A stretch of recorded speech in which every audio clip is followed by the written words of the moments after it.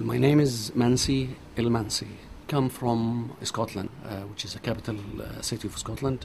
Spent 27 years of research at the cutting edge uh, at Glasgow University and Edinburgh University. And after such a long time, uh, I felt it was time for me to um, extend my horizons.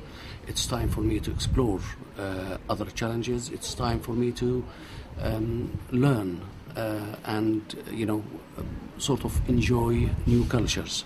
And India, as, as a country, has always been quite an interesting country for me uh, for you know the, the, the, the, fantastic history that, that you actually have. So it's been uh, a good experience, and actually it has been made good experience by the good quality students that we have in B Tech Year Two.